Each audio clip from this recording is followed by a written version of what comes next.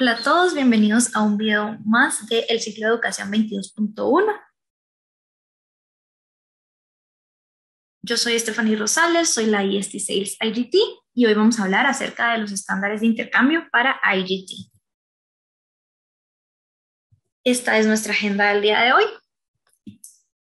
Y empezamos con qué son los estándares de intercambio. Los estándares de intercambio son los mínimos entregables que tenemos que facilitar a los trainees cuando realizan su pasantía. Estos son parte de la experiencia de ISEC y en total son 16. Cuatro los debe entregar ISEC Home, que sería OGT, y 12 los debe entregar ISEC Host, que es IGT. Entonces, aquí están divididos por bloques los estándares. Están los estándares de preparación, los estándares de experiencia y los estándares de post-experiencia. Y en total, como pueden observar, son 16.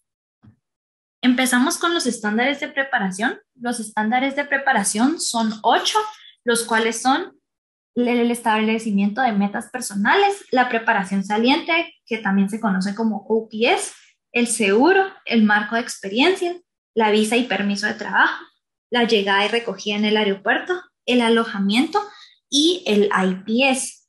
En este caso tenemos tres estándares que son entregados por ISEC Home, que sería el 1, 2 y 3, y luego el 4, 5, 6, 7 y 8 son entregados por ISEC Host, que sería IGT, y deben ser entregados antes del primer día de trabajo. Luego los estándares de experiencia, en este caso contamos con 7, sería el primer día de trabajo, los espacios de alineación de la oportunidad, la descripción del trabajo, horas laborales, la duración del proyecto, los beneficios de la oportunidad y el soporte de salida. En este caso, eh, tenemos que pueden ocurrir en un punto exacto de la experiencia, sin embargo, hay otros que representan un proceso que no finaliza hasta el último día de trabajo.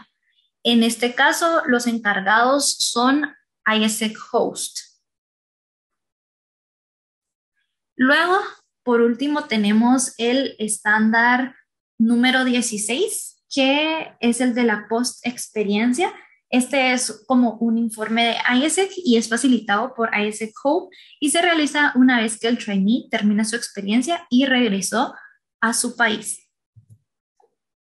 Aquí en pantalla pueden ver los cuatro estándares que deben ser entregados por ISEC Home. Y aquí pueden ver los 12 estándares que son entregados por ISEC Host. Ahora vamos a hablar acerca de las medidas de éxito. Y nuestra medida de éxito dentro de IGT es el complete. El complete lo vamos a realizar con una realización más un cumplimiento de los estándares vistos previamente. De los 16 estándares, hay 12 que son nombrados como estándares obligatorios, que estos son los mínimos que deben estar presentes para poder concretar nosotros un complete. Luego tenemos cuatro estándares que no son obligatorios, pero de estos solo podemos faltar a dos. Luego, aquí hay unos tips para el tracking de los estándares. El primero es mantener una buena comunicación con nuestro IPI y con nuestro IR partner, porque así vamos a asegurar que exista un cumplimiento de los mismos. El segundo es realizar reuniones quincenales durante la experiencia de nuestro IPI, porque ahí nosotros vamos a ver cómo le está yendo en su experiencia y al mismo tiempo podemos ayudar a corregir cosas que no se estén dando de manera correcta. El tercero es realizar reuniones de seguimiento con el manager OGT. El cuarto es que si se nos facilita, también podemos llegar a utilizar herramientas para traquear estos estándares.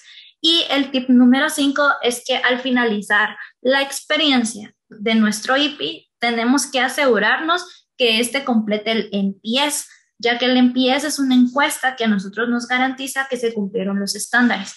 Y si esta encuesta no se completa, no podemos marcar un complete. Y por último, les dejo esta frase que dice, todos los estándares son importantes. Y esto es porque si no cumplimos los estándares, no estamos cumpliendo con darle una buena experiencia a nuestro trainee.